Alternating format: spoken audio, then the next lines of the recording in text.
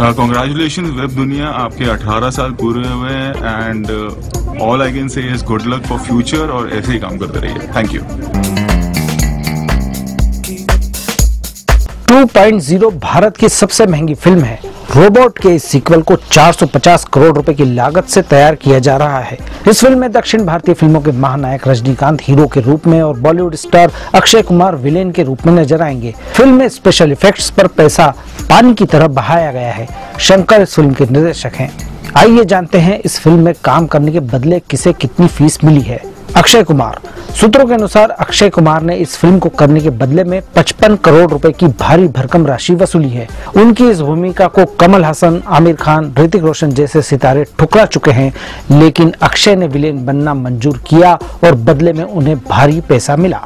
Amy Jackson Amy Jackson film की heroine है। उनके लिए महत्वपूर्ण बात यह है कि वे रजनीकांत के साथ फ़िल्म कर रही हैं। उन्हें लगभग चार करोड़ रुपए मिले हैं। रजनीकांत। रजनीकांत को अक्षय से भी कम फ़ीस मिली है। सूत्र बताते हैं कि उन्हें 50 करोड़ रुपए दिए गए हैं, लेकिन यदि फ़िल्म ब्लॉकबस्टर साबित होती है तो उनकी फ़ीस 80 करोड़ रुपए तक भी पहुँच सकती है। शंकर, फ़िल्म का निर्देशन शंकर ने किया है, और उन्हें लगभग 25 करोड़ रुपए निर्देशन के बदले में मिलेंगे।